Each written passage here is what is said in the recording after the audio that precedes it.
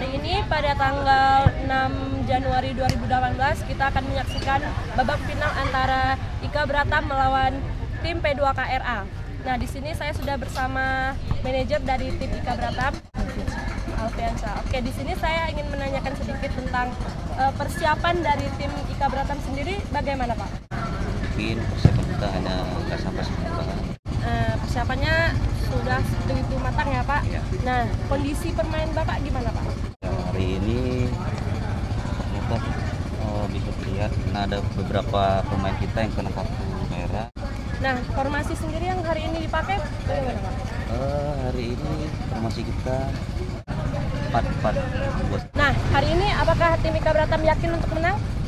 Insya Allah. Oke, insya Allah. Insya Allah. Sedikit bincang-bincang kita kepada uh, manajer dari tim Ika Bratam. Now I'm a fool while you're breaking rules.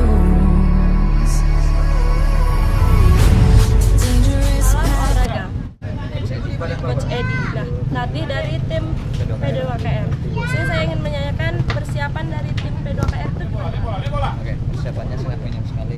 Eh, kondisi dari timnya sendiri gimana Pak? Banyak pemain kami yang cedera, tapi faktor kelelahan, makanya tidak tampil maksimal sore.